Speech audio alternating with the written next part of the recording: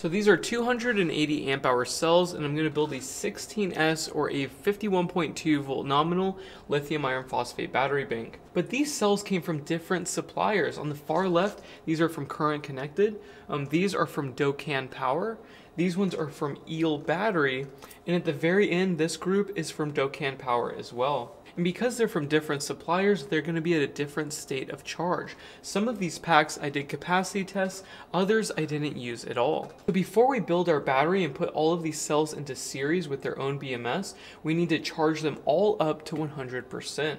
Now I want to show you my method of doing this quickly because doing a top balance with this many cells with a small power supply would take a very long time each group of four cells is at the same state of charge. So all I need to do is add a 4S or a 12 volt BMS to each group of four, charge it all the way up, and then put the BMS on this one, charge them all the way up, and then so on. And charging at 12 volts is very easy because I have high amperage 12 volt chargers and a lot of other people do as well. Now if all these cells on the table were from current connected, I could easily put them in series without doing a top balance at all because I know that they're already at the same state of charge. So this video is not for everyone. I do not recommend anybody doing a top balance unless you are not pulling full capacity. If you build your battery and it's pulling full capacity, you are good to go just leave it alone. Now, if you're not pulling full capacity, you need to do a solid top balance.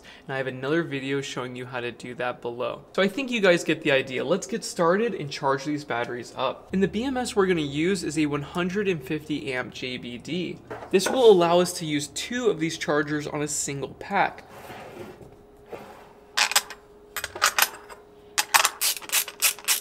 Now, if you have grade B cells, you should do a top balance no matter what because yeah, those things are gonna be off by quite a bit. But brand new cells, completely pointless. Now B minus connects to the battery negative and this goes out to the chargers or loads. Now the BMS and the first charger are connected. We're charging at 72 amps. Now charger number two, 144 amps straight into this battery. So it is finally fully charged. It took about two hours. Now we have the first row of cells and we have a lot more to do but I want to use a snake configuration. And it should end up looking exactly like this, but instead of two 8S BMSs, I'm going to use a single 16S BMS instead. But I love this configuration. The cells are not touching each other, and it's simple. It's easy to organize the balance wire, and it works really well. So I'm going to spend the rest of the day charging up those other packs and then lining them up right here. So we'll be back in a second. So fast forward a week later, and the final pack is finally charged. I had so much stuff going on this week. So yeah, let's finish up this project. Also, I should mention the JBD BMS 150 amp, I switched the balance leads on cell 1 and cell 3, and it did not destroy the BMS. Typically, it will destroy them, especially active balancer ones. And we have high voltage disconnect, so it's fully charged. So last night I finished up this battery and I noticed that these Eve cells from Current Connected, the terminal placement is different than the other ones. They're actually closer together. So I needed longer bus bars and instead of making my own, which I'm tired of doing at this point in my life, I just put two of them together and it works great. Now this is the first new cell pack that we have in this configuration. Previously I was using this configuration for grade B cells so they could expand and contract without issue you and without stressing these terminals so it doesn't break the attachment between the terminal and the lattice. But this configuration has worked so well that I thought, hey, why not try it with some new cells? And so far, I really do like it. I actually have friends that are copying this and it works well. I mean, you won't have a single issue here. Now, as you guys know, the case of these cells is bonded to one of the terminals and you won't have a short circuit and very little current will flow.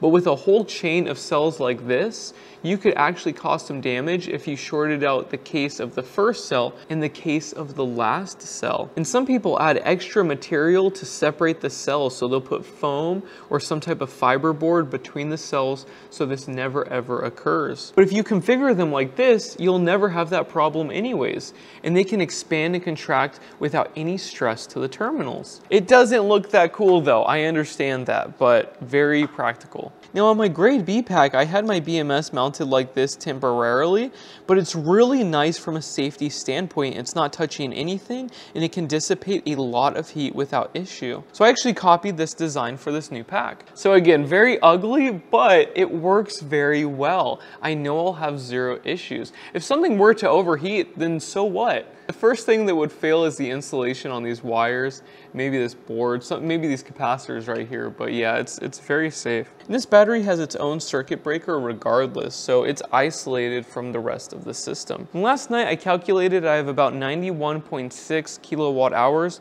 for all of these batteries that are connected right now. Because I added a new pack to the system, we have to do a capacity test. So today I'm gonna charge up these batteries to 100% and then change the settings on the Victron shunt and then do a complete cycle down to zero. And then I'll know if this pack is actually pulling the full capacity because I know everything else is, but yeah, if this does while it's connected, then we're good to go. But 91.6 kilowatt hours is quite significant. I can charge my Plaid from like 10% to 100% in a single cycle. Or I could run GPU miners or run my air conditioner when it gets hot in the next couple months here. And that's pretty much it. A very easy to build battery. I mean, nowadays you just buy good cells, you slap a BMS on it, make sure there's nothing combustible around, and you're done. That's it do a capacity test, make sure it works, and you're good to go. I hope you guys liked the video, and I will see you in the next one. Bye.